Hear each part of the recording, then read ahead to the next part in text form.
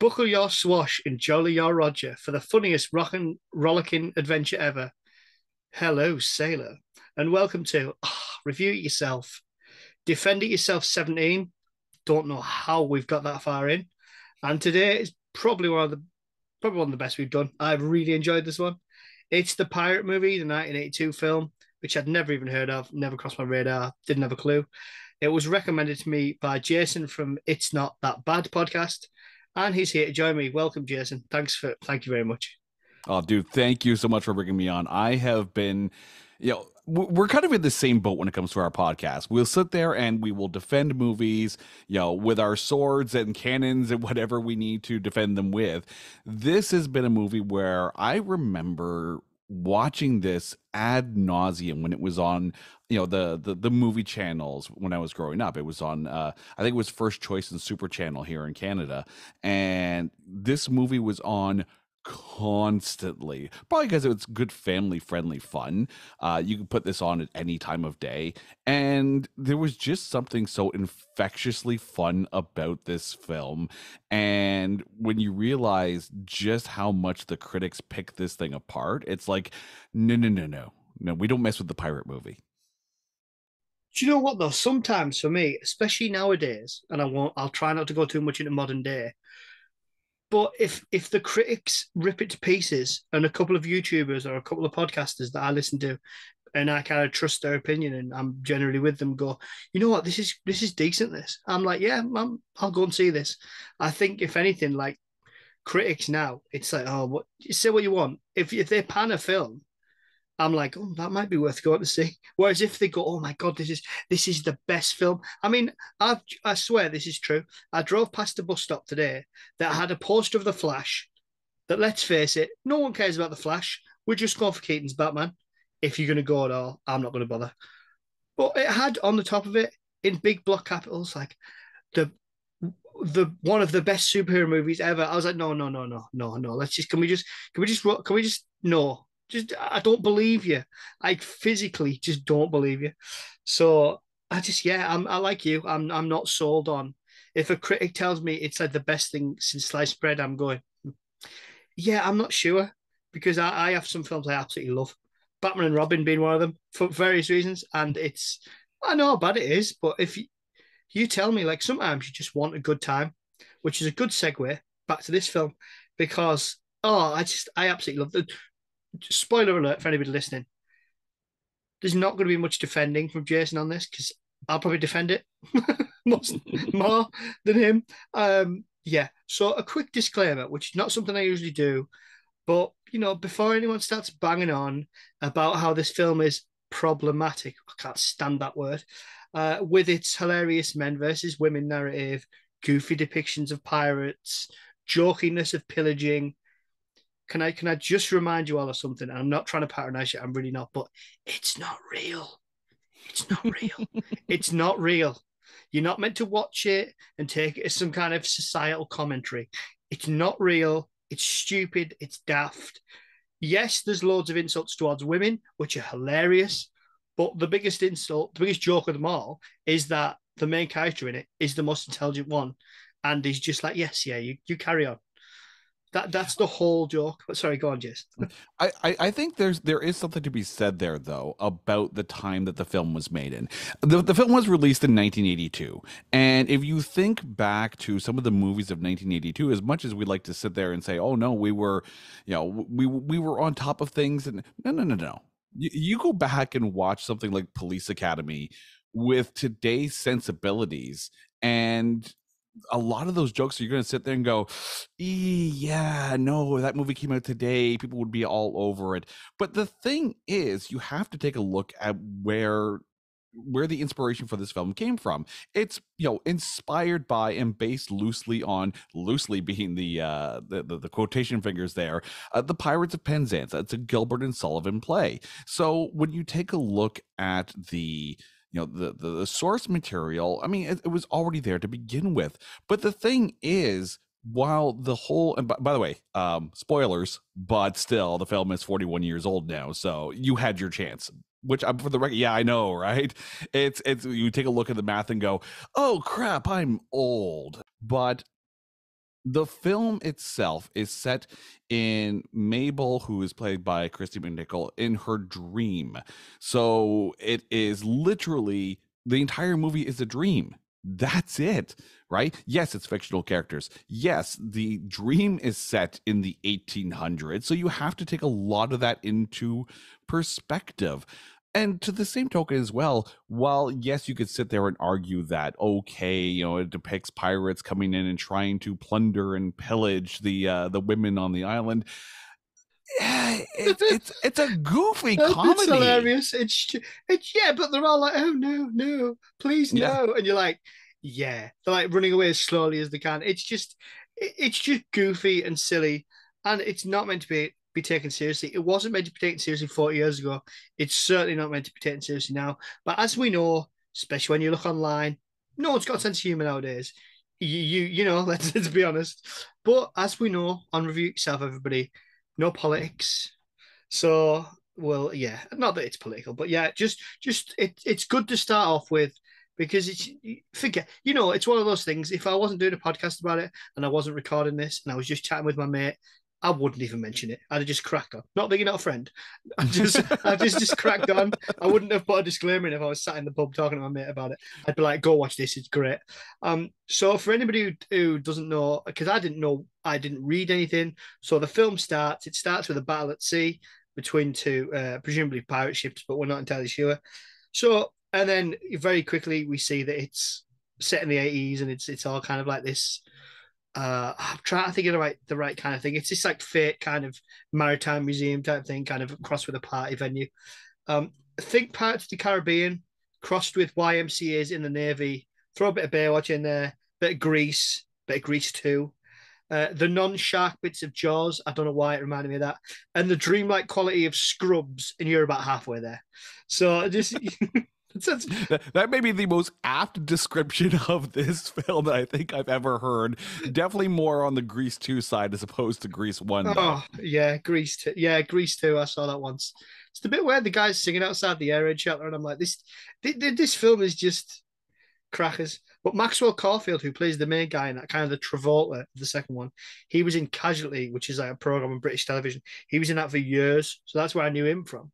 So yeah, um, but yeah, like you were saying, if you can't discern between, or I was saying, we're talking about the 80s, you know, if you can't discern between a goofy film from the 1980s and real life modern, you know, day, I, I can't help you. Like, like you know, you, you, I, you, I can't help daft people.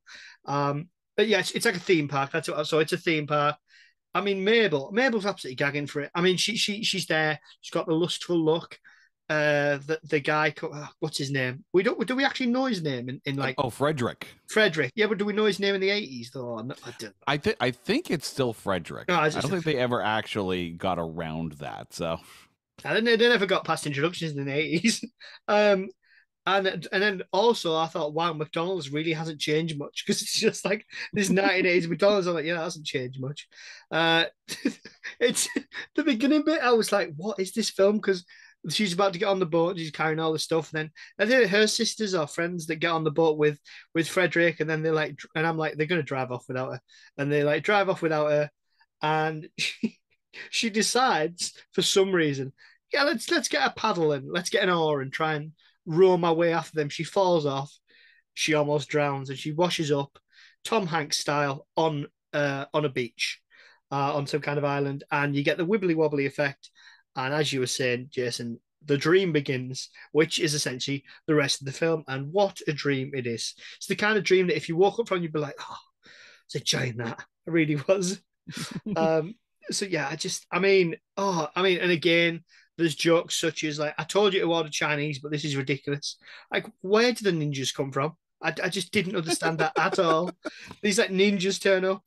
Um, and I, I just, I absolutely loved, loved uh, the main villain. I mean, Ted Hamilton, who plays the pirate captain.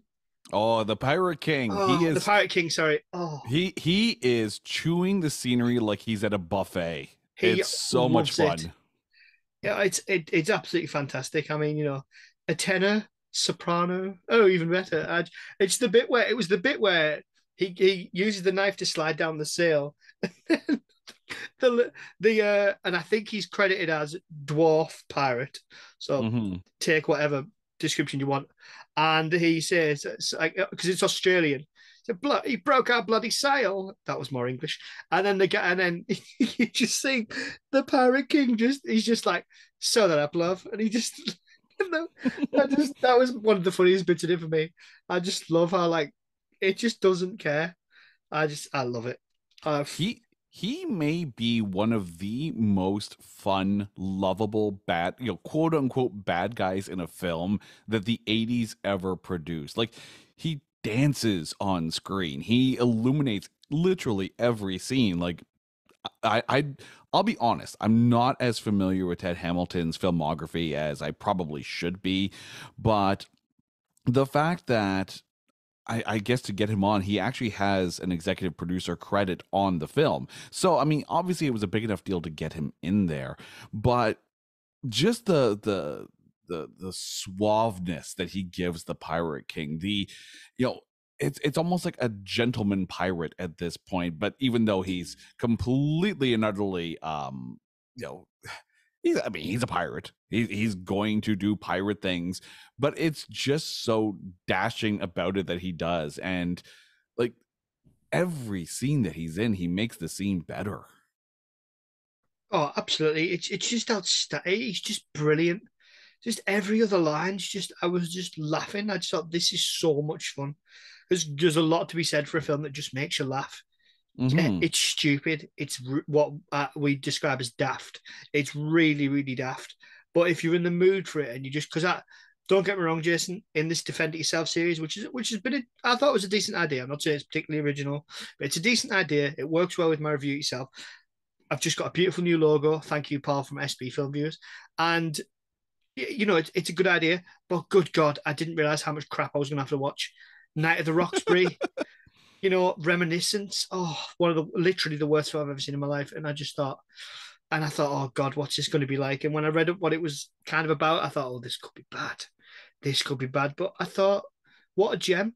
I, I, I really enjoyed it. Really, really enjoyed it. I mean, I've always had a bit of a soft spot for musicals. My mum used to have them on loads as a kid, you know, that kind of Oliver, Annie, that, you know, Sound of Music, which is one of my mom's favorite films. So I've seen that by proxy, not by my own will, far too many times. So it's, it's kind of, you know, and then you get films such as, uh, which everyone forgets about, like Sweeney Todd, The Demon Barber, Fleet Street, Alan Rickman in a musical set in Victorian England. Yes, please. Uh, Oh, have uh, I got a musical for you then? Good stuff. Repo the Genetic Opera. Okay, I'll, I've not heard of that one. we we actually covered that film for our our 50th episode because my wife Carrie, who is my my most frequent co-host, uh, she and I absolutely love the film. But if I were to tell you, you had a rock metal style musical that starred Anthony Stewart Head, uh, Alexa Pena Vega, Paul Sorvino, and somehow Paris Hilton, and it works. Paul Sorvino from Law and Order in a musical. Yep. I'm in. I'm in. I'm in. Yep. sold. And and Paris Hilton, and she actually works in the role. Well, to be fair, she's in. I know if you know, I, I haven't seen the original. I don't think she's in House of Wax, mm-hmm. two thousand and five. I, I think about that, yeah, because Yeah. around the same time that she was doing the Simple Life TV series. Yeah. That's a good. Thing. She's decent in that. If someone Yeah. didn't tell you it was Paris Hilton and you just watched it, oh yeah, okay, fair enough. She's decent in it, so I, I can go with that. Yeah. But I mean, but I mean, with this one, I mean, if you're just taking a look on uh, at this film on paper, right? For forget the actual experience of watching the film. You you take a look at this film on paper. Nine Razzie nominations that year. It won for worst song of the year for Pumpin' and Blowin'. It won for worst score. It won for worst director. It was nominated for worst picture. It lost to Inchon. Christopher Atkins was nominated for Worst Actor. He lost to Laurence Olivier for Inchon. Kristy McNichol was nominated for Worst Actress. She lost to Pia Zadora in Butterfly. Ted Hamilton, the Pirate King himself, was nominated for Worst Supporting Actor, and he lost to Ed McMahon in Butterfly. But it was actually listed in the official Razzie movie guide as one of the 100 most enjoyably bad movies ever. Like, and sometimes you just want to watch something that you know right off the Yeah. bat is going to be goofy, fun, and Yeah. unashamedly about it. No, I can't agree more. And you know what? Again, critics, they're just, I mean, sometimes they can be a little bit kind of, you know, they want something really highfalutin. I, I personally think films are an art. But sometimes, you know, th- there's an art in doing a film like this well, or so bad it's good, if you're going to go that way about it. Like, it's really enjoyable. Like, sometimes these films that become like the critics' darling, can't, don't see it. Everything, I, I don't know what you think, everything everywhere all at once, didn't see it. Did, I haven't just seen did, it yet. No. it just honestly, I, I won't spoil anything for you, but uh, it was good, enjoyable, nothing I haven't seen a million times before. The performances were all right, not worthy of of any of the Oscars they got.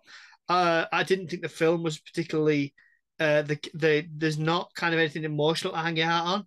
And consider, I mean, the whale, which I went to see. I love Brendan Fraser, but I went to see that, expecting that to be not as good as it was. Thought I bet Fraser's great, but it's not that great. That's unbelievable. The best film I saw last year was All Quiet on the Western Front, the German adaptation. Absolutely unbelievable. The idea that Felix Kammerer, the guy who plays the German soldier in that, did not get nominated and di- didn't win an Oscar, and then it's it just I watched it and I just I just didn't get it. I was like, I don't see what everybody else is like loves about this. So sometimes I'm very skeptical when critics are like, "Oh my god, this is amazing!" Like like everything everywhere all at once is the more is the most successful, the most awarded film of all time, and you're like, you I watched it and I was like, right, okay, even if I've missed the point and it's great, good action, I'll give it that, and it's original. But I think it's come along at a time when there's so much samey, samey stuff out there that it stood out a bit more than it usually would have done.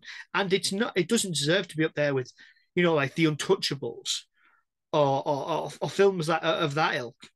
And I just, yeah. Anyway, Yeah, it's it's more a case I think of the uh, you know the the the nicest smelling turd in the pile kind of thing. Where I'll admit I haven't seen the film, but it's one of those things Okay, where you've you know, got it- description. We're one all on the description battle here. That is fantastic.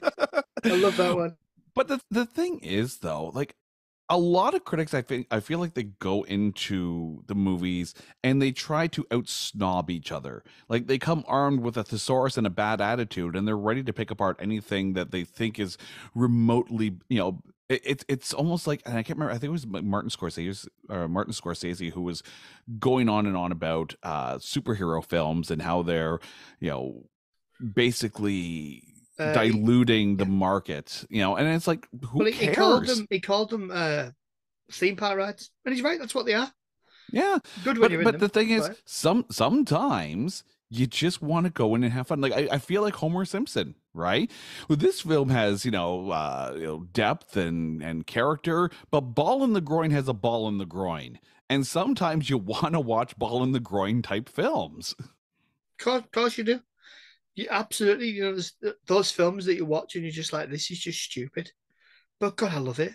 Like, you know, Right. you know, you, there's, I mean, that kind of slapstick has always appealed to me. I, I, Laurel and Hardy's, you know, Way Out West, one of the funniest films ever made, if not the funniest. Uh, and it shocks me how many people have never seen it. But it's just, you just wonder, like, what people are looking for. And you're right, critics sometimes go to like, impress me, darling. No, no. Yeah. Like, you're not, what do you, what do you expect? But then to the same token, if if you're looking for a movie that is knowingly clever and you know basically poking fun at its own self, I mean you you've got Christopher Atkins who prior to this film was in the Blue Lagoon. And the, the bathing suit that he wears when they go to dig up the, the the treasure chest out of the bottom of the, the ocean, it's basically the same swimsuit. And you don't think that they did that, you know, without a, a bit of a, a wink and a nod. There's this scene where the beginning of Mabel's dream sequence where she's watching um, her sisters do the sisters song, and then she looks at the camera and says, "Can you believe this song?" The reason why is because she, prior to this film, was in a movie called uh, Little Darlings with Tatum O'Neal. And in that movie, her character watched a high school play of the Pirates of Penzance, specifically watching that song. So it's very self eh, self aware, right? It's almost as if Deadpool did a musical, and this is kind of what it was. Because of course, Mabel does break the fourth wall. She continuously looks at the camera with very much a wink and a nod. allowing you to be able to sit there and say, okay, they know exactly what yeah. they're doing, and they're yeah. they're having fun doing it. Exactly. I mean, I was I was meaning to come out of this about like what do you think about the film references? You know, there's Star Wars, there's Indiana Jones. It's very eighties. You know, there's there's uh kind of Inspector Clouseau. There's there's all kinds of there's probably more if you I mean I wasn't born in the eighties, I was a nineties kid, so it's a bit more of a struggle for me. But I think to to do you think it hurts the film at any point to have that many references in there? I think by the time you get to that point in the film, if, if you're not already on the ship and, and sailing with them, then you shouldn't even still be in the theater. Because at, at this point, it's gone, you know, you have your you know keystone cops esque kind of you know uh constabulary who are singing along and march along. You have your very Inspector Clouseau like Inspector. Uh, you have the Star Wars reference where the, the the sword becomes a lightsaber. Like at this point, it's just full on goofball, and that is the charm of it. If you watched Free Guy and you lost your ish when like all of a sudden the the the Captain America shield comes out and then you got the Hulk hand and all the video game references. It's kind of like that um at that point where it's just let's throw in everything that's fun at this point and anyone who sits there and I, I took a look at some of the the critic comments here again just to put it this movie into perspective the irish times called it a travesty of the original in Leonard Maltin's movie guide, they said the movie should have been called the Ripoff movie. Uh, in the Son of Golden Turkey Awards book, uh, they said the first love is on the list of worst rock and roll lyrics in a movie, and uh, critic Michael Adams put it on his list of worst ever Australian films. And I'm just wondering, what are they looking for? Like, I, I get that they say they are, you know, loosely based or inspired by the Pirates of Penzance. And if you're looking for a movie that's going to recreate that, you're not going to get it. The funny thing is, this movie was um, rushed out so they could they they could be because there was a there was a, a, a version of the Pirates of Penzance movie coming out around that time. So they literally put the rush on this one to to beat to beat the punch, right? And maybe from a, a production perspective, that may have suffered a little bit. But I mean, this was never meant to be a true adaptation of the actual move or of the actual play. It was meant to be fun. That's why they wrote different songs for it. It's not just songs from the Gilbert and Sullivan play, although those moments are in there and they're really, really fun. Um, although I have to say, and I'm, going to ask you on this one here is it me or did the songs that they wrote specifically for this film thirsty as hell? Because you take a look at the lyrics are like pumping and blowing. It's like, uh, what? It's like Steel Panther level lyrics. But what about what about the uh the the, the ending was give us a happy ending every time. I was like, yeah, I know what kind of happy ending you're talking about. And it's yeah, absolutely it's it's just dripping with that kind of 1980s just lustfulness every which way. Um that's not no pun intended, but it is literally just just everywhere. And these really like there's just like I just love the way that it, the innuendos I, I look like I grew up um, on kind of Bottom. If you've ever seen the TV series Bottom with Rick Mayall and Ade Edmondson, no, I haven't yet. No, worth catching that. So in the, uh, the 1990s, it's just slapstick and innuendo. It's it's fantastic, and it's that kind of you know, and the whole the, the whole bit. See, I've used like the like the whole um where he's like, you'll get a hundred lashes, and he's like, promises, promises. Um, you know, you get the I am the very model of a modern major general, which I, I didn't realize was from the Pirates of Penzance. It was one of the only songs that I was like, oh, okay, I know that one.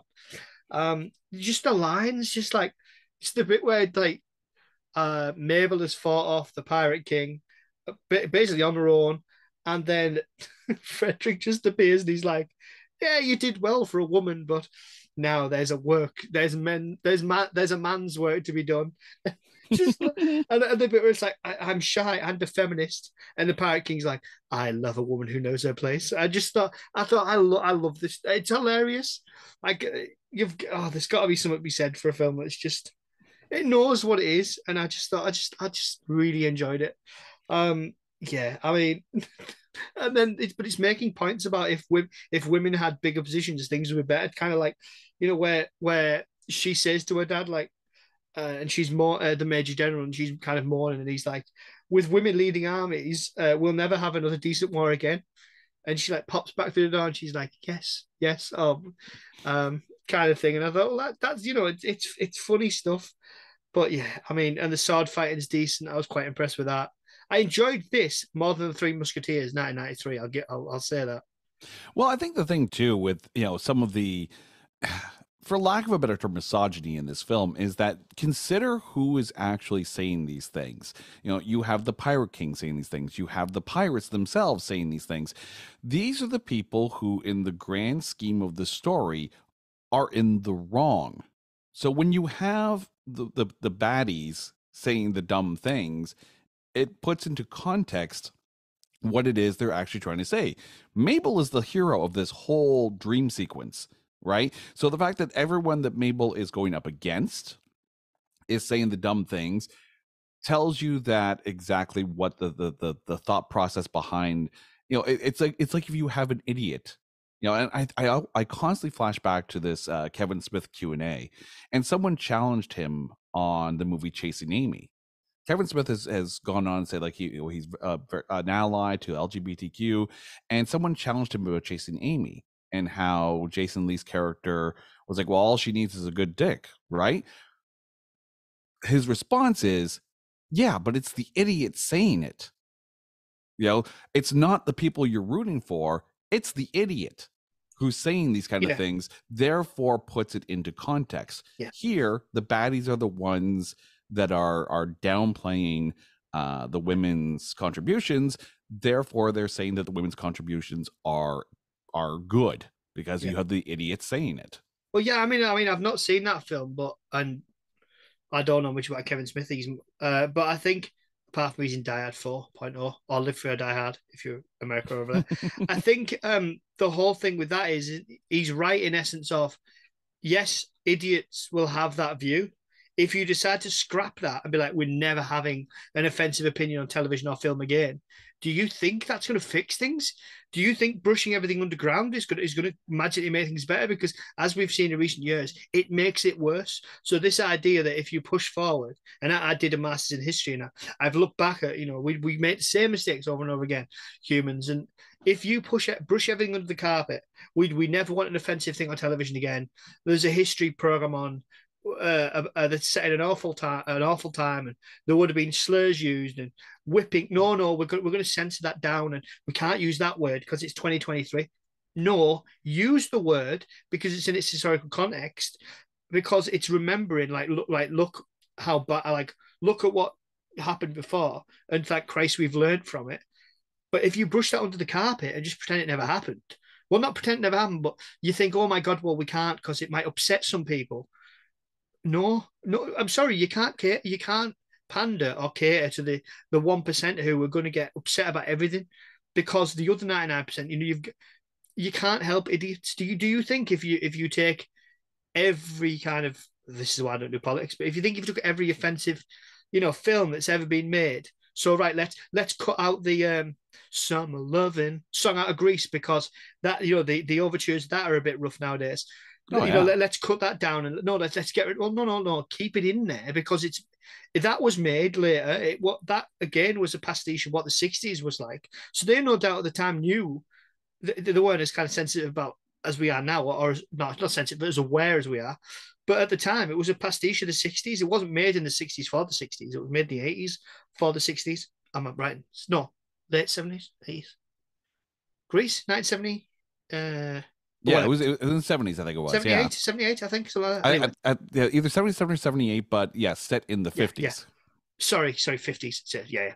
Oh, was out there? Damn it! Usually good my dates, but yeah, yeah. You can't cater like that, and, and you just you can't. It do, it does nobody any good. It doesn't do anybody any good to pretend things didn't happen, or or to kind of like just oh no, well we can't have that because it might upset. Well, so what?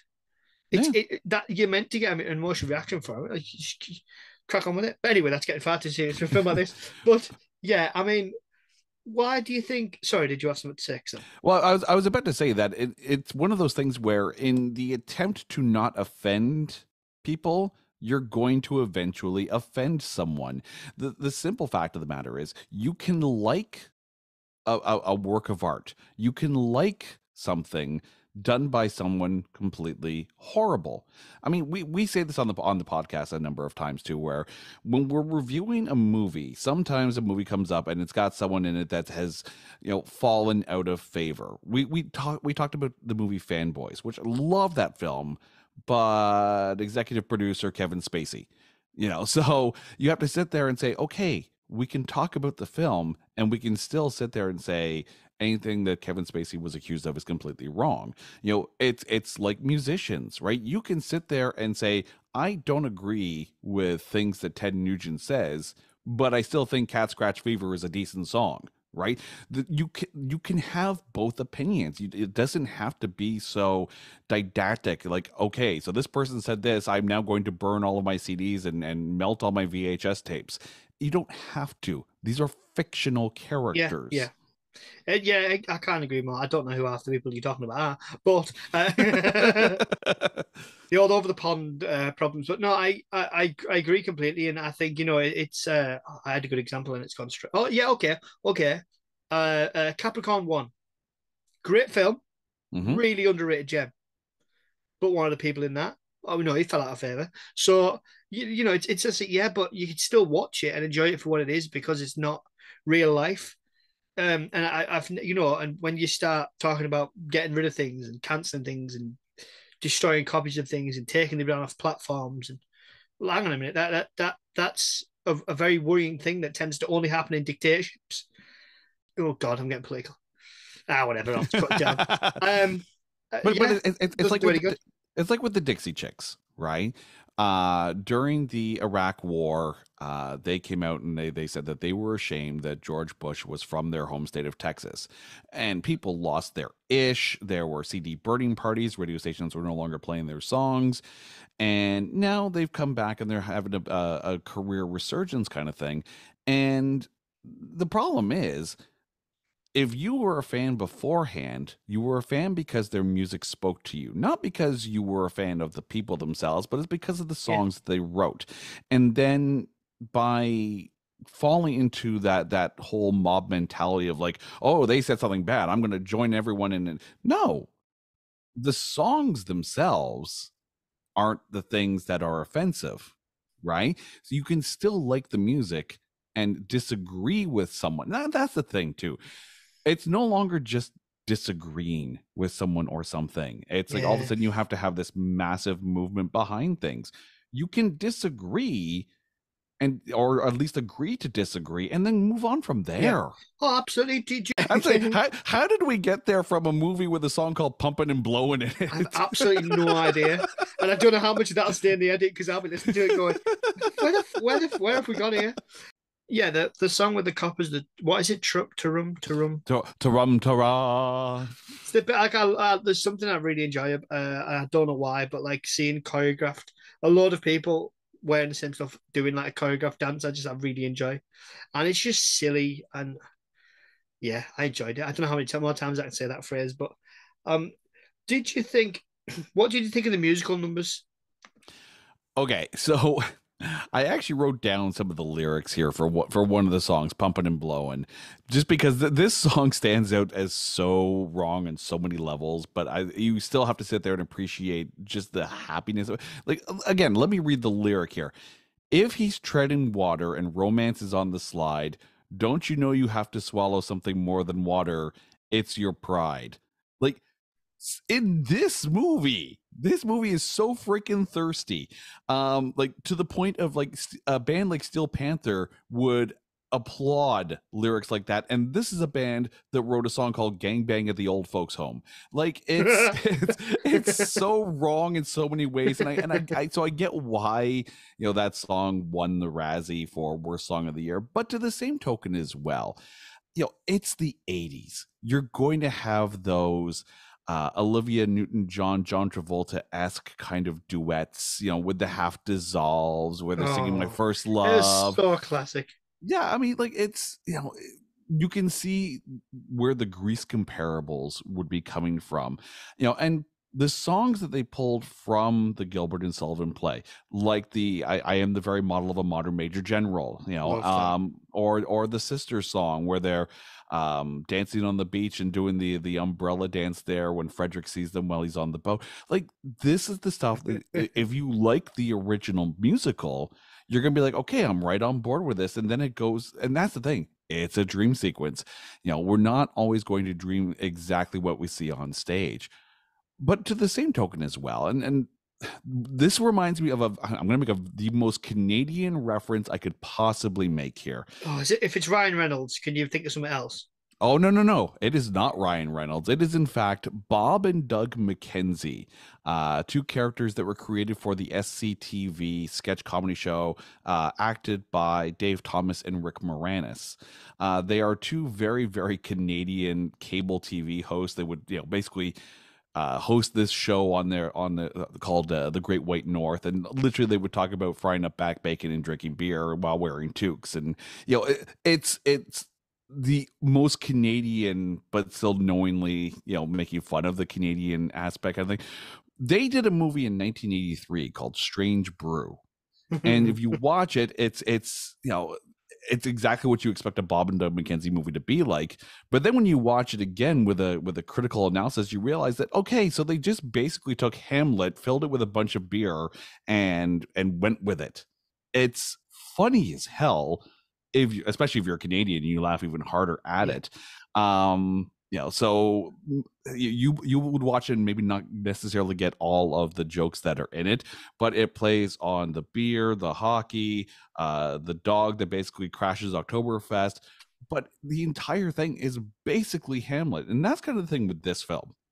It takes its inspiration and its cues from the pirates of penzance and then just turns it on its head and has fun with it. It's nothing has to be or not everything has to be a direct adaptation of the source material, you can, you know, tip your hat to the source and then have fun with it on the side. Yeah, absolutely. Absolutely. I mean, if every if everything ever made was a direct adaptation, I mean that wouldn't I mean it wouldn't it's difficult to do if it's a book for a start. Mm-hmm. Then if it's a musical, well, you got to stage it differently and set it differently. It's it's not possible to do it exactly the same way because they're made for theatre. So it's it's a very difficult thing to try and to try and pull off. And like I've never seen the original musical, but this made me want to go see it. So it's a, it's and, a... and that's the funny thing too. Sometimes not being so faithful to the original, but at least knowing where the source material comes from, makes you more inclined to go actually watch it. Like I'll, I'll admit, this movie came out when you know I was you know young and you know just getting into you know like watching full length movies and and having them mean something like around this time you know again strange brew came out in 1983 i think krull came out i think in this year as well too and krull was such a fun film that it, i still remember that film today even though it may not necessarily hold up but i we again we covered it for the show and i'm like no okay i, I understand why i liked this film. And that's the other thing too sometimes we watch something when we're kids and at the at the time it's the coolest thing ever. And then you watch it when you're an adult and you're like man i was a dumb dumb kid. What was the hell was i thinking? Why did i think this was cool? Um this film watching it and again i'm going to say it 41 years later when you know after it comes out it's it still holds the fun to it like forget sensibilities, forget the mindset of the 2023 uh, moviegoer. It's a fun film. Like just go in and, and forget the fact that it's a 1982 film. Just just enjoy it. Yeah, absolutely spot on. Why do you think it gets so much stick? Uh, stick. Uh, uh, why do you think it gets so much not hatred, like rotten tomatoes thrown at it? Why do you think it gets so much why why is it such derision? To put it poshly. The way I look at it is this: there are certain films out there that are based on books or stage plays or whatever the case may be, and they divert from the source material. Um, we covered uh, a movie on here called The Circle. It stars Emma Watson, Tom Hanks, uh, based on the book by Dave Eggers. And it's also got Karen Gillan in it, John Boyega. Like it's got a phenomenal cast. And for the first half of the film, or first three quarters of the film, it's very faithful to the actual book. Mm-hmm and then it just turns left where it should have turned right and the the the end of the book is tonally and completely different from what ended up on the film and i get why they did it because the end of the book it, it's kind of like world war z the end of the book yeah, of world yeah, war yeah. z is a complete and utter downer and then you you you watch the movie it's like I, I don't remember this part of the book it didn't happen. Same thing with the circle. Yeah. So people looking at the pirate movie and in the credits says you know uh, inspired by uh, the pirates of penzance you go in expecting certain things well at least critics would and when it doesn't meet up to that you sit there and go ah no right this the yeah. snobbery comes out out comes the thesaurus and they try to find clever ways of dissing the film when they're not going in just without any preconceived notion whatsoever remember that this movie is going to aim itself at people who aren't necessarily familiar with the source material itself like when I first watched this film, I, I, had no clue what the Pirates of Penzance was. No, None whatsoever, right? So I get to go in not having a preconceived notion. It's like watching a, a superhero, like going into to watch Moon Knight. You know that that series when it came out on Disney Plus. My knowledge of Moon Knight came strictly from playing the character in a video game, and that's about it. I had no idea about the backstory. I had no idea of, of what the character should be. So you get to enjoy the movie for the or at least in this case the TV series for the TV series sake and without a preconceived notion of who should be playing it, how they should be played or whatever. I get that people are going to be guarded when it comes to things that they are familiar with and comfortable with and all of that. So anyone going in expecting the Pirates of Penzance, don't. People going in expecting a fun time with the occasional song that they might actually remember oh hey, you know what? Then, then it is a good time. Yeah, can't say about myself. I, I really enjoyed it. I will say this though, World War uh oh, you guys say Z Z World War Z. Um it I love the differences between this side the Atlantic and the other. I think it's great. Not all of them, but if I get serious. No, I um I, I do I do uh World War Z, I read the book and the book is so different to the like the film. You just gotta you just gotta forget. Like, go watch the film as if it's just a zombie film. Like forget the title, because if you go to watch it, if anybody went to watch that after reading the book and thought it was going to be like the book, for anyone who doesn't know, is almost like if you've ever read any of the Forgotten Voices or one of those war books or a kind of uh, even I tell a good example is probably Dracula, the the book of Dracula. If anyone's ever read that school or college or uni or whatever, that when you read that, it's all diary, uh, excerpts of diaries from Jonathan and, and, and uh, Renfield, sorry, and you know Jonathan and and, and all the others. It, it it doesn't tell kind of a coherent story. You've got to work out what's going on. Like it's a mystery in that that way. World War Z similar in that it's all these little bits from all over the world. And to be fair, I think they made a mistake the film, I love World War Z. The film, I think, is great for uh, for what it is. it's got some cracking bits in it, but I think the book it should have been a TV series, a limited run, eight episodes. You know, ha- have it be globe trotting. It decent amount of money. Have be globe trotting, and have it kind of have all you know ha- shows a different part of the world every you know every every week and then you know bring it together. I, I get why the film was like, well, we can't do that because it's all disconnected because it's a film. So you need to follow someone, so I'll follow Brad Pitt. Yeah, okay, fair enough. Um, but yeah, I anyway tangent. Um, I, I think that's why people are leaning more towards series than they are towards movies these days. Is that you have the space to expand and you know have a much larger palette to paint with you know, with a movie, and you could argue with this one as well, it's about an hour and a half. You know, most movies are in that 90 minutes to two hour range, obviously, because you don't want to have them sitting on their butt in the theater too long. I still have horror flashbacks of the Batman because that movie just lasted forever. It could have Oh, ended about 20 minutes. God. Oh, there's somebody else. Oh, I'm so happy. I'm I so mean, it was, it was a good film, but Mm. I mean, just way too long. Take an hour off it for Christ's sake. You Take could hour, very take an hour easily. easily and just streamline the bloody thing. And for a film that's so bloody long, there's no character development in it. It's it's just it, it there's I just didn't get it. Too many people in it. I thought Catwoman. I thought she was completely wasted. Couldn't. I mean, I, I wouldn't say Zoe Kravitz was bad. She just had nothing to work with. Uh, you know, I, I didn't like the fact that because I, I what they did with Pattinson because Robert Pattinson is a, a charming guy, a very suave guy. You know, very charming. You know, he, when I watched uh, what was it called, the, the latest Nolan that I, I wasn't a massive fan of, uh, Tenet. When I watched that, that felt like Pattinson doing his kind of audition for James Bond. He's Mhm. very, very. He's like about the only character in it that saves it really.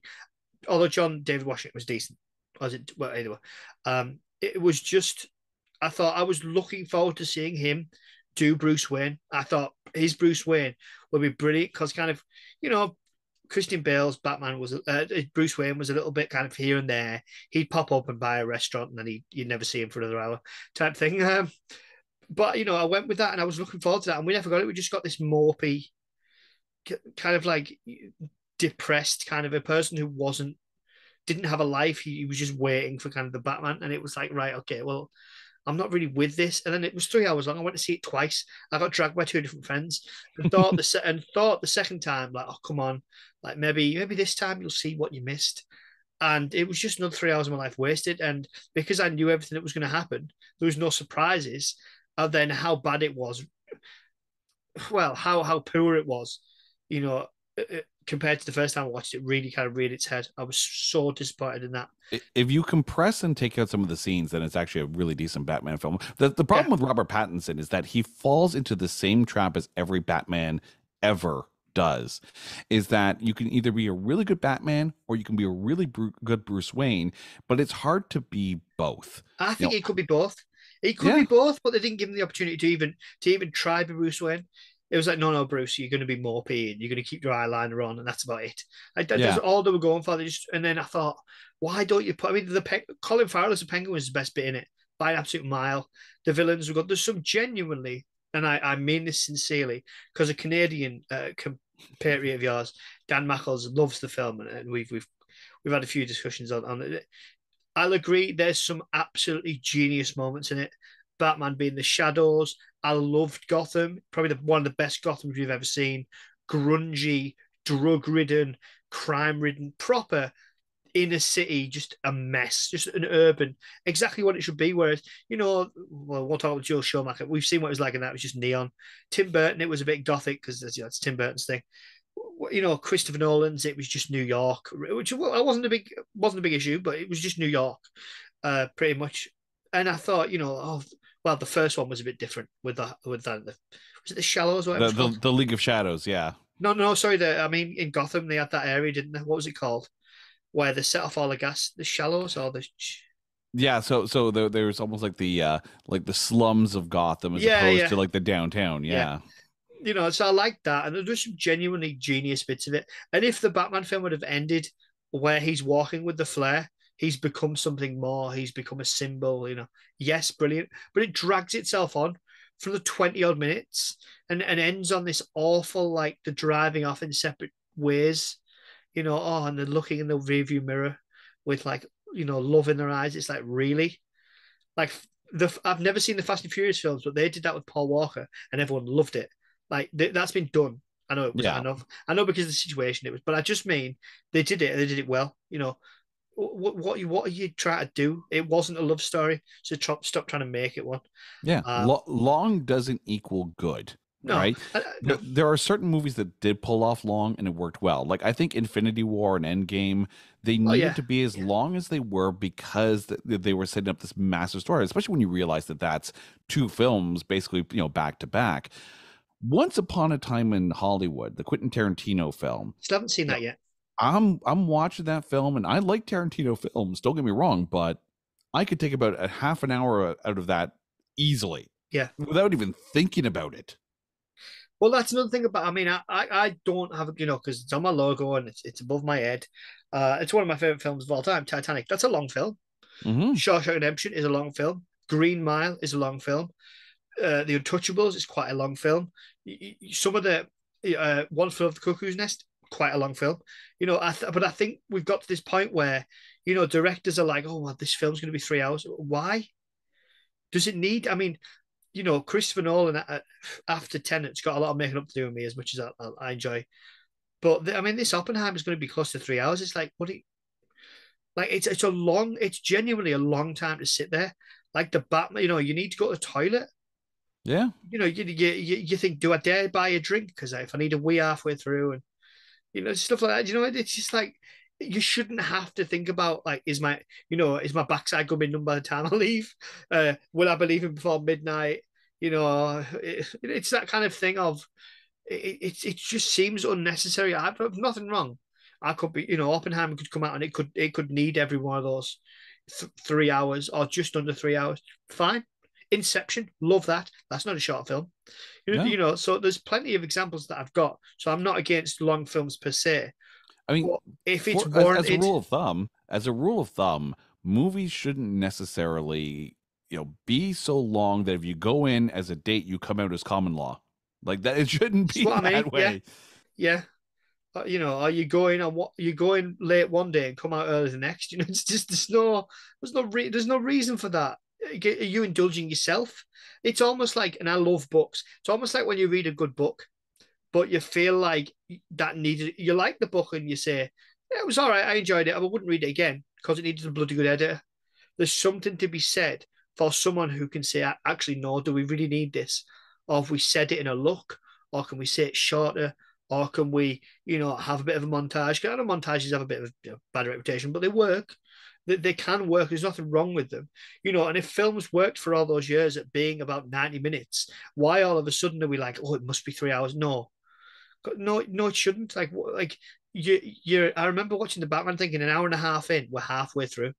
Like that's not eh, that. You know, if you need two films to tell your story, yeah. Like Dune, which I still haven't seen that, but I've heard really good things. Split it in half. Harry Potter and the Deathly Hallows Part One and Two. If you need to do it faithfully and, and it takes that long to do because you need to tell the story, put it into two. It's not a big issue. That's how you have to do it. But to, but to cram it all into one, that's another thing about the, the Batman. It felt like about two or three films ideas crammed in. We need Catwoman, we need Penguin, we need Maroni, we need Bruce Wayne and what's his uh, and Alfred. Wasted Andy Serkis, just like Jeremy Irons was wasted in, you know that that realm. It's like oh god, like if it, my biggest frustration with films comes when it's like you had all the ingredients for like a brilliant dish there, but you used too much of this, too little of that. You made a right, you know, right mess of it, you just needed to like kind of kind of just have somebody just have somebody brutal to be like, look, do we need that? Do we need this? And you wonder if if the film industry is full of people like that, and I, and I don't think it is. I don't know what it's like, but I think uh, maybe there's a lot of yes people. You know, is it? Oh yes, yes, yes. Well, hang on, you know, because I don't know. Anyway, I, am not commenting on people. Films. I'm well, sure they all try and do a good job, and I'm sure they all work hard. But it's just you just wonder sometimes there was a fascinating documentary on YouTube uh, called The Cutting Edge, and it's about film editing. Um, and you, you see these directors talking about the relationships that they have with their with their editors and how it has to be this this back and forth. This it has to be this. Um, I remember Spielberg in that documentary was talking about how the editor on Jaws uh, would sit there and always try to shorten the scenes with the shark. We know that the shark, when they were filming that movie, didn't work as much as they, uh, you know, had wanted it to. So the editor was constantly shaving frames here and there from the scene, and Spielberg was doing his best to try and get more in there. He's trying to put it in there because he spent so much time and money in filming the shark, and she's trimming it back because you know the difference between a couple frames here and a couple frames there, quote unquote, from Spielberg, is you get this terrifying shark as opposed to a great white floating turd. That's the exact quote that he he used in that documentary. I am personally, I'm a video editor, so I I actually understand you know the need to be able to trim things down. And yes, sometimes you want to put more in. You spent so much time, but sometimes it it it it's didactic in the script. It Yeah. doubles down where it doesn't need to double down. Yeah. It's just unnecessary. Yeah. You have to sit there and say the cutting room floor exists for a reason, and scenes that end up there Yeah. actually make the film better. Yeah. Well, it's like it's like and I know it's really odd, but it's like editing editing a podcast. I love a good tangent. And there was a time re- years back or years up where I would take out the tangents and I'd make them in their own episode. But it got to a point where I was like, and I leave the majority of stuff in. I know for a fact when I come to edit this episode, there will be things that come out of it because you go so far off the reservation that you think, hang on a minute, uh, if I'm listening to this and I'm editing it and I'm editing it and I I've had the conversation, I'm going, hang on, where where are we? Then how's an audience? you know, I've no doubt that that's part of the charm. Like, if you want a straightforward movie podcast, you're not probably not going to get it here. But I think there's good points made. But there are sometimes you get like you get moments where you know in in a conversation where it's hilarious, but you think that's not going to work because earlier on I cut out a reference to that, and that this joke doesn't work anymore, so that's going to have to come out. You know, I Mhm. don't, I don't massively edit. my- I don't, I really don't. I'm talking a couple of a couple of minutes, of that. You know, trimming things down, trim off the end, and make it sound a little bit, you know, all right. So I don't do loads, but I think there is a point to be made for does this need to stay in, or well, if you took that bit out, this bit now doesn't make sense. Yeah, but it's a great laugh, or it's a really nice bit. Of, yeah, but it doesn't make sense. It's just going to have to go. So you know, and don't get me wrong, every now and again I use parts of those and put the, put them for the patrons, but but uh, you know, give them a tangents part. But I, I like that part of it. Like the majority of our chats about editing, that'll stay because it's a conversation. Like for people, I, I listen to my podcast because I want to. I like the people that I listen to. I like the way they talk, and I think, well, I want to hear a conversation. I know people who don't edit theirs at all, and I think fair play. uh, but yeah, Oh, I, I mean, there's something to be said about editing, but there's also that, you know, that old music adage, right? Sometimes it's not the notes you play, but it's the notes you don't play. Uh, same thing with, with film editing, right? Sometimes it's the scene you pull out that makes the scene better as a whole.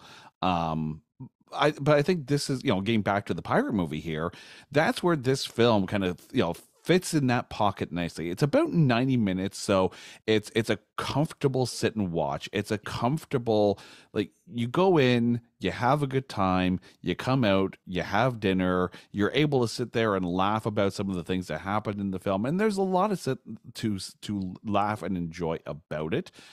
But and and I'm I'm gonna put this out there, right?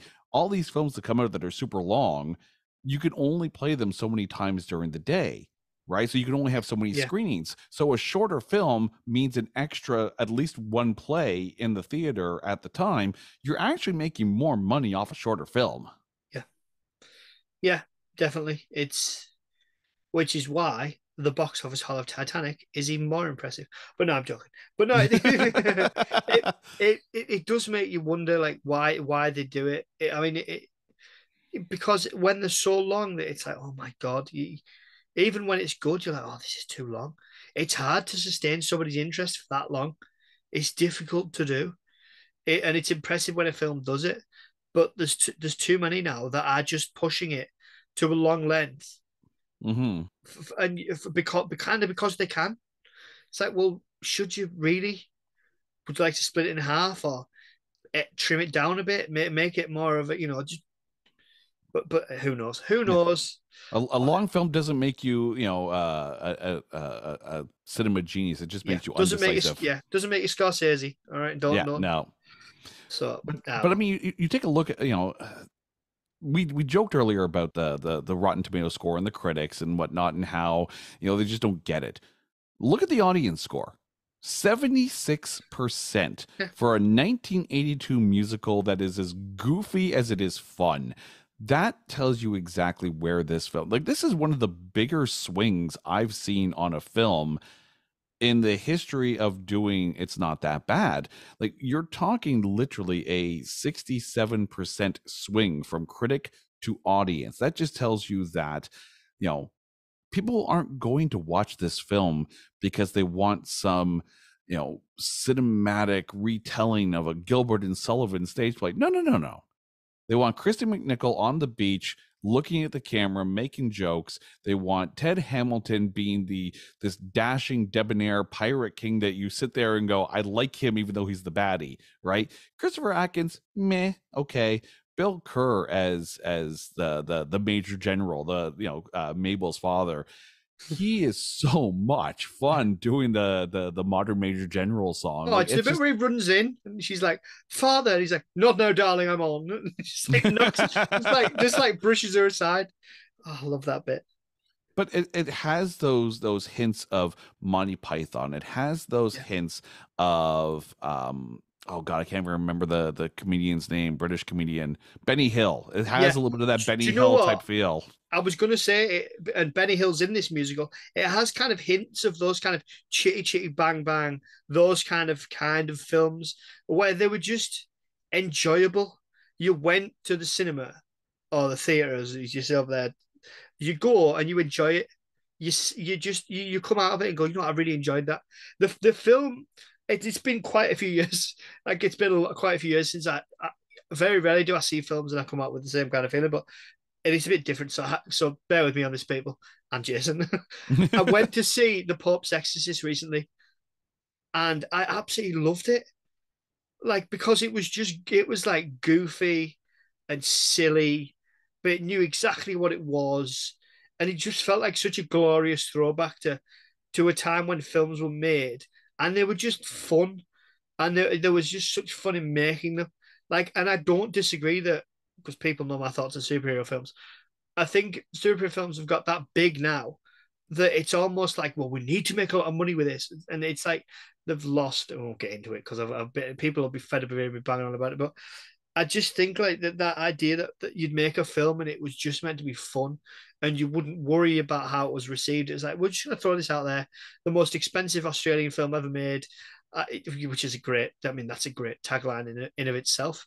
And the tagline, when I saw that tagline as well, um, that I read out at the beginning. I thought, yeah, I think I'll, I think I'll enjoy this. But then sometimes some films don't land for me. I've seen a lot of love for Night of the Roxbury, and I think that's probably because it's kind of an American thing. But oh, I couldn't stand that. I thought it was the most stupid thing I've ever seen, and just couldn't get away with it. So I can understand how uh, some people would watch this film and have the reaction I had to the Night of the Roxbury of this is stupid, it's insulting, it's awful. I, I don't I don't want to watch it. I get that like some like the Fifth Element, which has been on the Defend It Yourself series. I, I couldn't rewatch that for the series. It's the only film so far I haven't rewatched. I couldn't. I watched it once, hated it, tried to rewatch it again the day of the recording, um, got five minutes in and was like, nope, nope. I'll, I'll watch something else instead that I've seen a million times. So yeah, but I, I genuinely, I genuinely really, really enjoyed this. Is there any other points you had? I've no doubt Lord, because I've banged I, I I think generally it's just one of those things where this film like if you were to sit and watch it right now considering all the films that are out there these days this film feels like a tonic right it's it's almost like a cleanse you're not getting serious you're not you know dealing with you know characters with deep-seated issues kind of thing it, it's it's a goofy fun hour and a half yeah. like in all honesty, and sometimes that is the best tonic for yeah. anything in the day. Yeah, it's a crap day film. That's what it is. That's what this yeah. is. I've often said on this podcast quite a few times this is not a breakup film. Don't watch it if you've had a bad day. This is the antithesis. This is the antidote to that kind of film uh, and a bad day. This this film, watch something like this. It's it's it's very it's a little bit kind of like it's not as good as so don't kick off anybody, but it's a little bit like uh, Clue. Seen the film Clue? Oh, I love Clue. Yeah, Clue's yeah, so good. Yeah, great, isn't it? And it's it's it's a little bit like that. Like it knows what it is, and it just goes for it. It absolutely, like literally, almost like in the Pirates film where they're making Frederick walk the plank. Well, not walk the plank, getting that little walk the plank, and he just decides partway through, I'm just going to do like an Olympic dive off it. I was like, yeah, that's exactly what this film is. Every other film would have them walking down the plank, looking all looking all morose with their hands tied together. This film's like, nah, we're just gonna have the guy just beautifully Olympic dive off the end, beautiful entry, ten out of ten. And yeah, that, that's what this film is. And you're either you're either with it or you're not. And if you're not with it, it'll be a rough ride, rough seas. Sorry, I can't help it. And if you are with it, smooth sailing. I, am not going to do any more. I promise. Uh, oh, Captain, my Captain, you did very well on that one. Thank you very much. Oh, nice. Um, so yeah, the wind's in the right direction. No, I'm not doing, not doing any more. I'm not doing any more. not doing any more.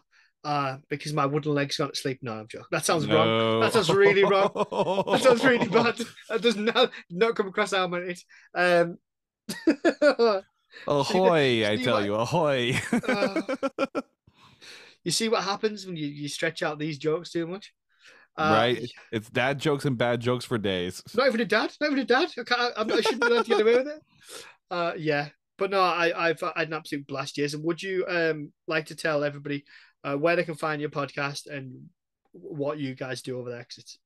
Okay, so th- there's actually two podcasts. The first one is It's Not That Bad. And we talked about that earlier in the show, where we will sit there and defend the unfairly maligned films. That we joke around that uh, on Rotten Tomatoes, if the tomato is green, the movie can be seen. So we'll watch the film and we will defend it and try to find the good things to say about it. I mean, we'll call a spade a spade. We'll we'll say when the movie's bad, it's bad, but we will try to find the good things to say about it and prove that it's not as bad as its critics score. However, if you're a music fan, uh, there's also a podcast called There Can Only Be One, where we'll sit there and we'll go through the entire studio discography of an artist, only picking one song from every album and making our playlist out of that. So if an, if a band has 10 albums, we're making a 10 song playlist, one from every studio album. So for It's Not That Bad, you can find us on Twitter at Not That Badcast. For only for there can only be one, you can find us on Twitter at only one cast. And you can find everything over on our website at notthatbadcast.com. Nicely done. Nicely done. I was just thinking, I've I've seen that um, there can only be one pop up on Twitter, and I thought it was like a, a Highland movie review thing. No, there can only be one. There can only be one. We we we we referenced that in the first episode. We we got everyone to get their Highlander references out there. Yeah. Although that being said, when we do the Queen sound or the Queen episode, you know we're going to have to talk about Highlander. yeah, absolutely. Oh, cracking. Oh, God, I bet the Rolling Stones one's going to be a bit of a chore, isn't it?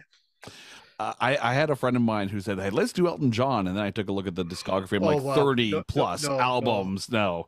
That that would literally be the uh the Zack Snyder version of a podcast, it's like, yeah, or a Martin Scorsese short film. Yeah, I mean, what you can do? right? What you can do? But no, thanks for coming on. Uh, I've I've had an absolute blast, and as ever with my podcast, it goes all over the place. Uh, if you'd like to come back on uh, for a regular review yourself episode, you're more than welcome. If you'd like to come back and defend something else, please do, because I love I love this Oh, series. dude, so sign, sign me up. I got tons. Oh, I look forward to it. Uh, thank you for Jason for coming on. Uh, anybody, uh, anybody, anybody there? You're listening to review yourself. Uh, the podcast with the sigh. No politics, no pandering, no point. And you can catch us wherever you can get your podcasts. I'm not a great fan of doing this bit. We're on Twitter. It's at yourself review. We're on Instagram. It's uh, it's review yourself podcast 2021. And we also have a Patreon. Go and have a look at that if you fancy it. If you don't, no bother. Cheers for listening, everyone. Cheers, Jason. Get it in, get it on, and enjoy the flog. Welcome to Film Floggers, Oh, harder, Daddy. The only film review podcast, thankfully, that poses the question Does watching this film feel like flogging a dead horse? There he is, beating that dead horse. Introducing your hosts. First up, her Irish potty mouth turns the air a whole new shade of blue. It's Fiona. Say hello, Fiona. And why the f- is Dan Mackers doing our intro? I want me gold. That's great. It's great. She's adorable. And your second host needs no introduction. The man, the myth, the legend. Like I said, I'd do this. I said I'd do this for you. I'm not reading this. It's the guy who waffles too much. It's Ben. Cooey! I'm making waffles. So what are you waiting for? Grab your whip, mount your dead horse, and let's get on with the flog, shall we?